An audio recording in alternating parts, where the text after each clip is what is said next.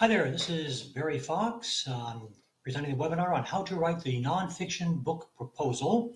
This is the nonfiction book proposal, which is a horse of a different color from the fiction book proposal. I ghostwrite uh, nonfiction books and book proposals. So I've done this many times and I've seen the ups, I've seen the downs, I've made all the mistakes, and I've done a few good things. Okay, let's jump into the nonfiction book proposal. The nonfiction book proposal is two things. First of all, it's a description of the book to be.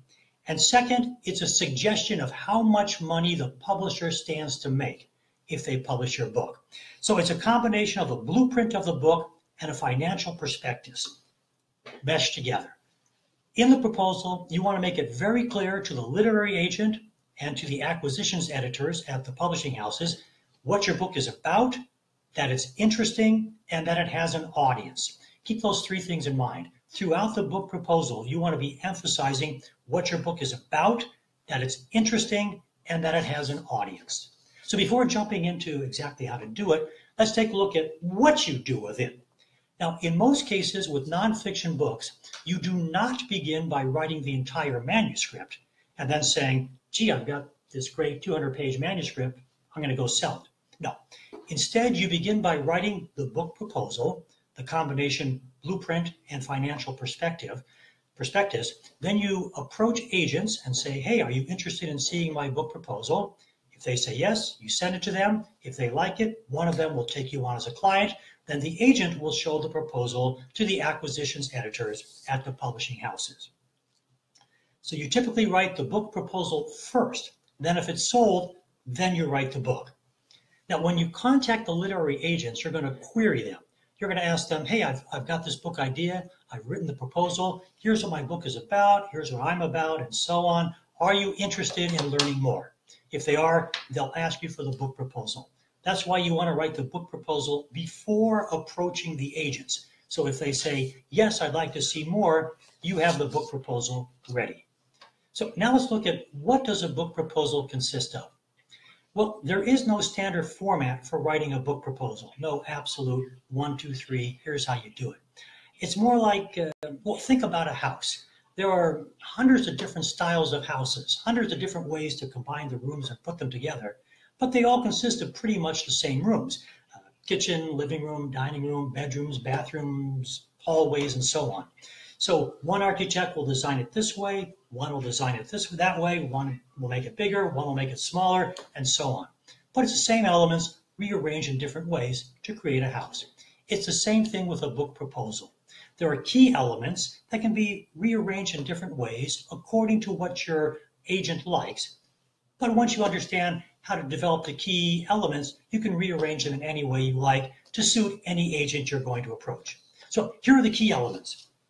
There's the title page, with the selling sentences, the proposal table of contents, that's the table of contents for the proposal, not for the book. There's the overview, which is also called sometimes the synopsis or the introduction.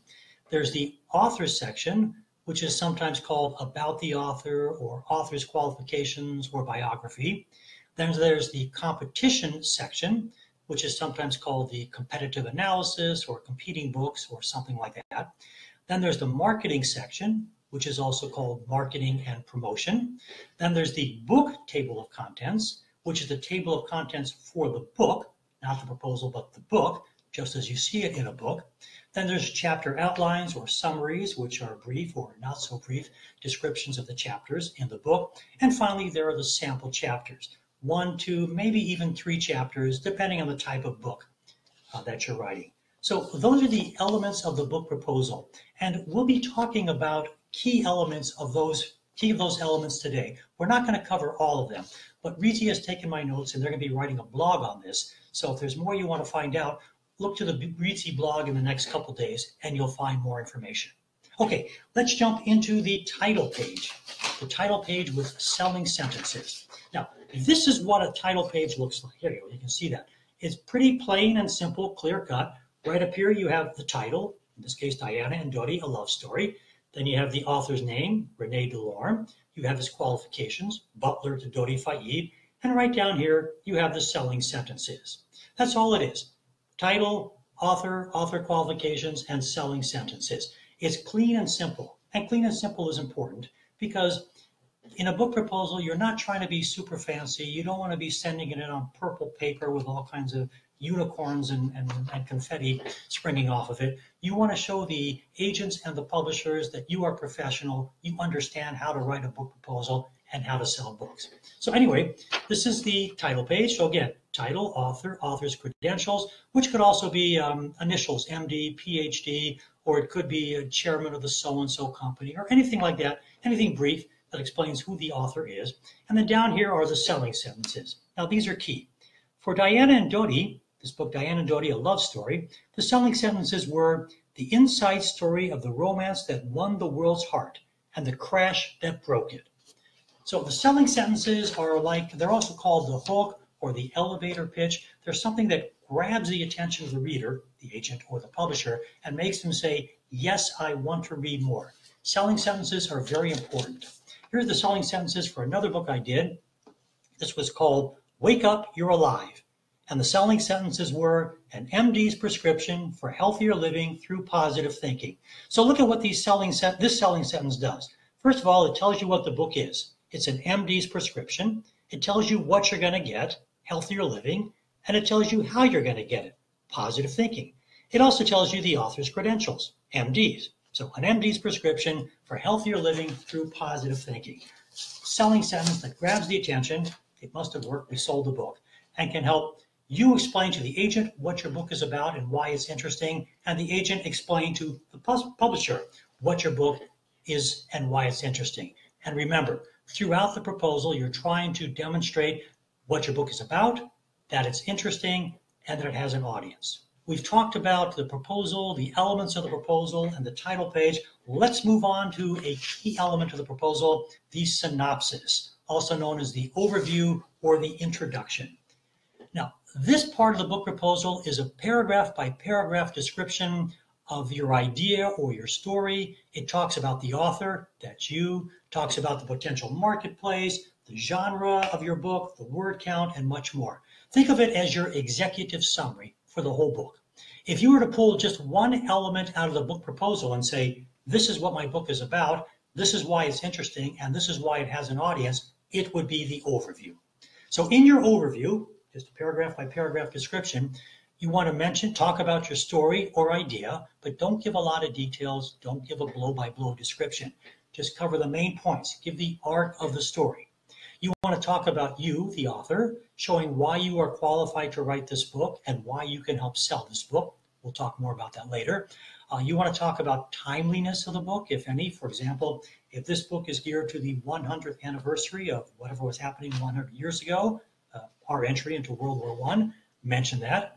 You want to mention the methodology, if appropriate, not, not for all books, but let's say you're doing a um, memoir on uh, President Trump, and you and you alone have been granted access to his diaries. So you want to explain to the publisher in your proposal that your methodology includes reading through uh, President Trump's private diaries that no one else has access to. That would be important. So in the overview, you also want to mention the potential markets the primary potential market, the secondary and specialty markets. We'll talk more about that later. Uh, word count and genre, any special features, uh, photos, menus, recipes, maps, quizzes, anything like that. And you want to mention your anticipated delivery date, if any. So all this is done in one big paragraph format. It can be anywhere from one to five pages, depending on the agent. Some like it short, some like it long. So I always tell people write the five page version and then skinny it down to the one page version. That'll force you to do a lot of thinking about your book, writing into five pages, then skinning it down to one page. And it will also prepare you. You're ready to talk to an agent who wants a one page overview, and you're ready to approach an agent who wants a five page overview. So here's what some of the agents have said about this overview or introduction or synopsis. Bradford Literary Agency says, and I quote, in essence, this is your main selling statement. Concisely address all that is most exciting, interesting, introspective, and unique about your book. Make it clear that you are the best and most qualified person to write this wonderful and very necessary piece of nonfiction, as well as make a persuasive case for the intended market. And LGR Literary says, pretend this is the jacket flap copy that people will read once they see your book in the bookstores, Barnes & Noble, or whatever your bookstore is. Make it clear that someone really should want to read the book. Make it enticing. And, and Bookends Literary, another agency, says think of it as advertising. An advertisement grabs your attention because it highlights the most interesting points. That's what you want to have in your overview. Think of your overview as an advertisement for you and your book. Now, when you're writing your overview, be careful. Be careful of running on. This is a big danger. Lots of people do it because they're tempted to put every little piece of their story or idea in it. Don't do that. Just work on the story arc or the overview or the main points. Show the agents and the acquisitions editor that you understand what your story is about because you can explain it simply and briefly, and that you understand the high points. Also be aware of unrealistic statements in your overview. Don't say things like, everybody will want to read this book, or guaranteed 2 million bestseller, or every TV host will be dying to interview me once this book comes out. Keep it realistic. Remember, agents and editors, they're professionals, they've been in the business, they know what's realistic, and they prefer to deal with writers and prospective writers who are also realistic and understand the business. Why don't we move on to the next element of the book proposal, and that's the potential marketplace and the competition. There are actually two elements, but I like to talk about them together because they kind of cover some of the same ideas. The potential marketplace is all the people out there who would realistically be expected to be interested in your book. And again, that does not mean everybody wants to read your book, no matter how good it is. That's unrealistic. Um, I had a huge New York Times bestseller, number one bestseller, well over a million copies sold, and most of the people in this country did not read the book, didn't even hear of the book. So you could have a huge, huge bestseller, and that doesn't mean that everybody wants to read your book.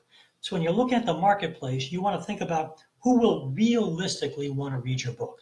And don't go for de- broad demographics like all women will want to read the book or everyone who lives in a house will want to read the book. That's just not true. Think about your actual marketplace. Uh, let's say a book on heart health. Now, you might be tempted to think everybody will want to read it because everybody has a heart, so they want to know about it. But that's not the case. A lot of people don't think about their heart until something goes wrong with it. So you probably want to narrow the topic down to perhaps people who are concerned about their heart. I mean, rather, narrow not the topic, narrow the perspective marketplace down to people who are concerned about their heart or people who already have heart issues. And even them, that doesn't mean all of them will want to read it. Some just don't read, or some may not like the approach in your book. It may be a great book on heart health, but it looks at standard medicine, which means people who like alternative medicine may not want it. Or maybe it looks at alternative medicine, and those in the other camp won't want it.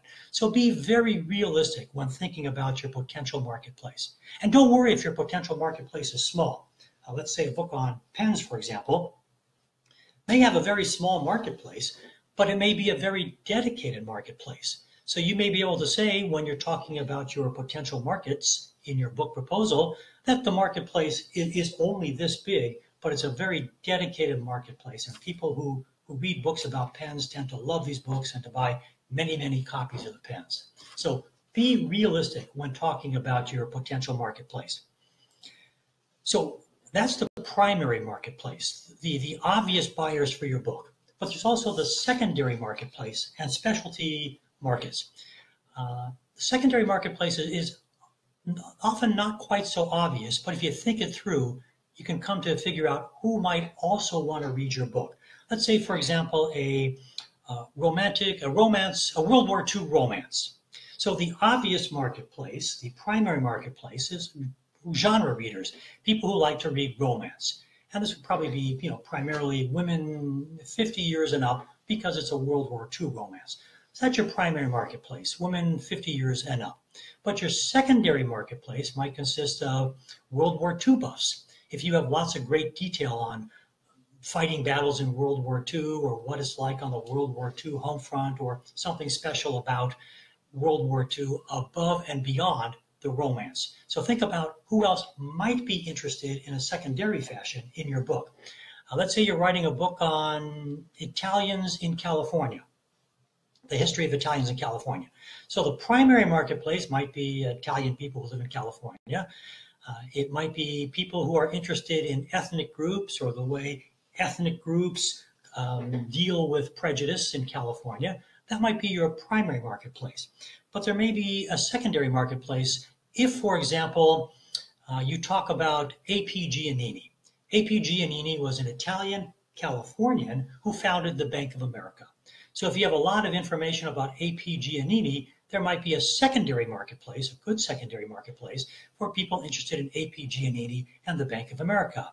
Uh, there's another famous Italian American, Domenico Ghirardelli, who founded the Ghirardelli Chocolate Company. So if your book talks a lot about him, there could be a good secondary marketplace there.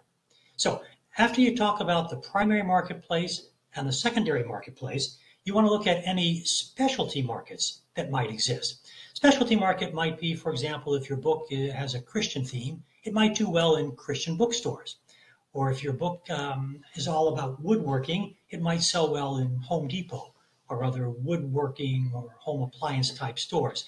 Um, your book might sell well in museums as a specialty market or in gift shops, might sell on websites as a specialty market, and so on. So think carefully about that. Not just your primary marketplace, but also your secondary marketplace and your specialty, specialty marketplaces. And put all those out for the uh, publisher in the book proposal. Yes, they can think through a lot of this themselves, but sometimes you know things that they don't because you're a specialist in this field. So you want to work carefully on your marketplaces. Another important element of the book proposal is the competition, the look at the competition. Uh, this section is also called competing books or competitive analysis or comparative titles or something like that. So what you want to do here is show the publisher, we'll show the agent and then the publishers, that there is a marketplace for your book because there are books kind of like your book or on the same topic already out there, but that there's a special niche for your book.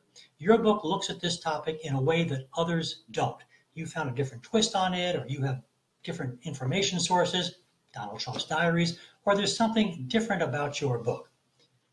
If you find out that there are no competing books, there's no book like yours, that may scare away the publishers because they may think if there are no books anything like this, it's probably because nobody wants to read a book like this. So hopefully you'll be able to find several books that are related to your book, and then you're able to show why your book is different, why your book will fit into this existing marketplace. So what you want to do is go to the bookstores, look online, find five to eight books that compete with your book, that people who buy your book might also buy. Pick good books. Don't deliberately pick poor, poor selling books to make yours look good. Pick good books, describe them, and explain why your book is different. And be sure not to leave out any obvious choices, hoping the agent or editor won't see them, won't notice it. The agents and the editors do know what the competing books are. And if you don't talk about them and don't show why your book is different, they'll think you're trying to fool them and they'll pass on your proposal. And don't be don't trash the other books. Be realistic, but just show why yours is different. Uh, Wolf Literary Agency says it this way: Do not be negative. Don't say so and so's book is very similar in subject, but poorly researched and boring. Remember, you may be sending in this book proposal with that bad, nasty description of the competing book to the editor who edited that book, and that editor won't like seeing the nasty description. So be fair, be honest, be realistic in your look at the competing books. So as you're doing this section, remember to say that there are no other books like this, or mine leaves all of the books in the dust. Uh, don't trash other books. Don't give misleading information about the other books. Don't ignore pertinent books. And don't just rely on blockbusters that everybody else is probably mentioning. Be creative. Look for books that really compete with yours, talk about them, and show why you have that special niche about the author or the author's qualifications, sometimes called a biography. This is a part of the book proposal where you talk about yourself, the author.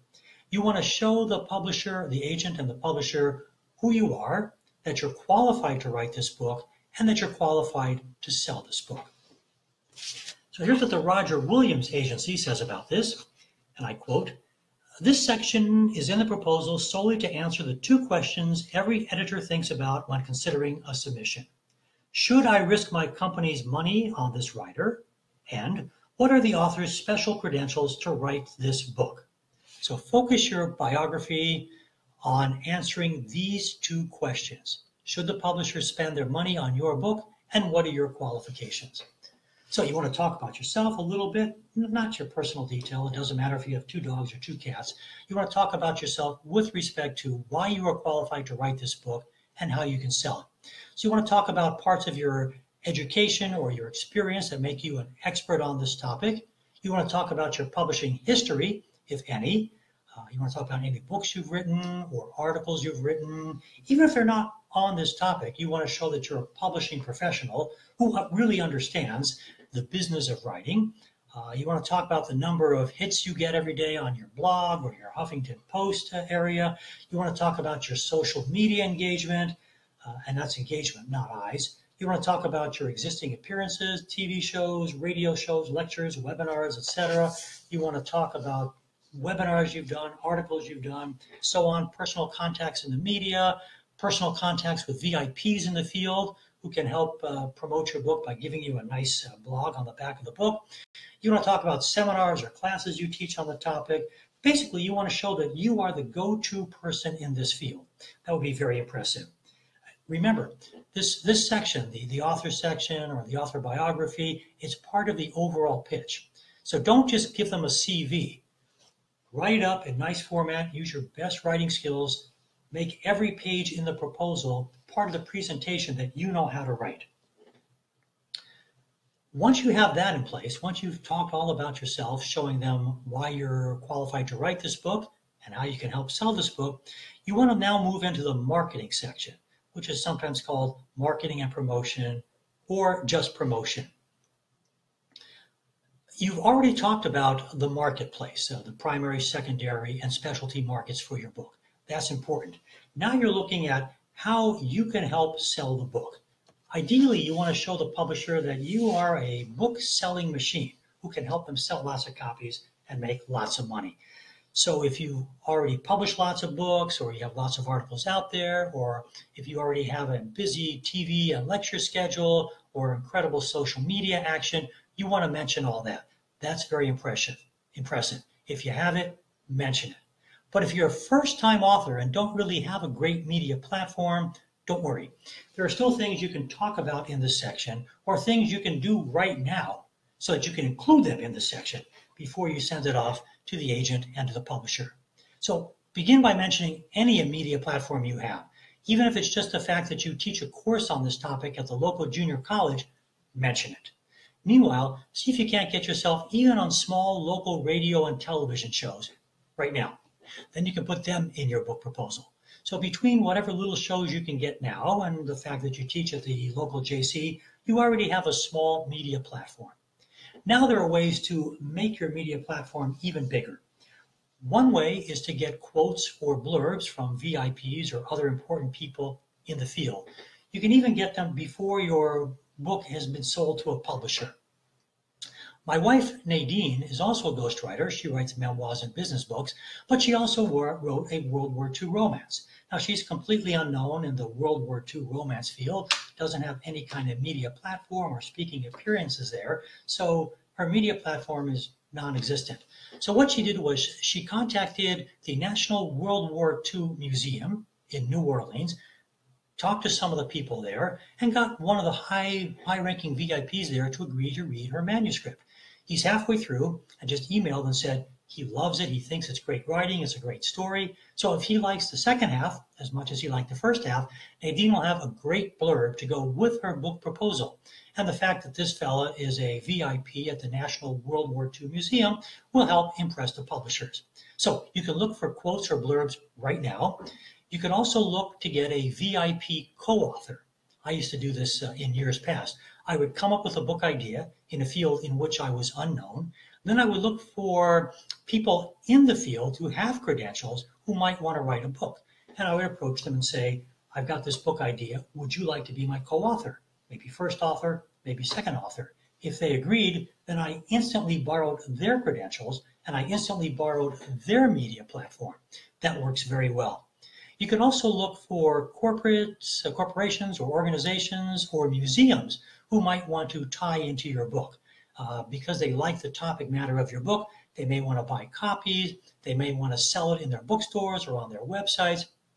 They may give you access to their mailing list. They may invite you to speak. If you can get some sort of tie in with a corporation or a museum or a non government organization, terrific. That can help burnish your credentials and make you a much better book selling machine. And you can put that right in your book proposal. And you never know. Uh, back in the late 1990s, my wife did a book on green tea. This is when the internet was still fairly new, and we didn't realize it. But lots and lots of green tea websites wanted to mention her book on green tea on their website because they felt it would help them sell uh, green tea. They didn't sell her book on their website, but they mentioned her book and linked to it on Amazon, which was very helpful to her. So think about organizations, museums, non government organizations, websites, any group that may want to help promote your book, help get the word out there, and contact them. All right, so we've talked about lots and lots of elements of the book proposal. Uh, we haven't covered them all, but we have looked at the title page with selling sentences. We've looked at the overview. We've looked at the author, the competing books, the potential marketplace, and how to market the book. Well, I want to thank you for joining us for this seminar on writing the book proposal.